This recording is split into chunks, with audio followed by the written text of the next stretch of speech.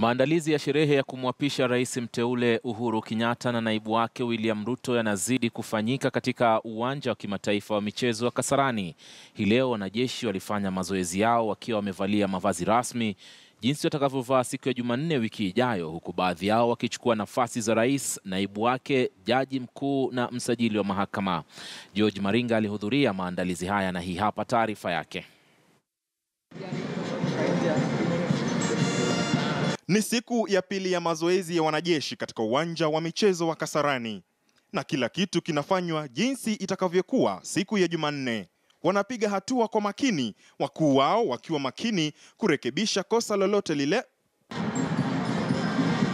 Mkuu wa majeshi Jenerali Samson Mwathethe akachukua nafasi ya rais Karibu Mheshimiwa Rais.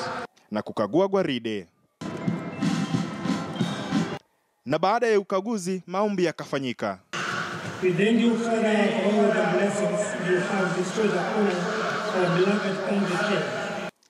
Ikafuatia hafla ya kumwapisha rais mteule. Wakuu hawa wa wanajeshi wakachukua nafasi za msajili wa mahakama, jaji mkuu, rais mteule, mkewe, naibu rais mteule na mkewe. Wakalishwa viapo viwili kila mmoja. Swear that I will truly and diligently swear that I will truly and diligently serve the people of the Republic of Kenya serve the people of the Republic of Kenya in the office of the President of the Republic of Kenya in the office of the President of the Republic of Kenya. Kilichofuatia ni kufyatuliwa kwa mizinga 21 ya heshima. Baada yake, wanajeshi hawa wakapita mbele ya amri jeshi mkuu wao na kuondoka.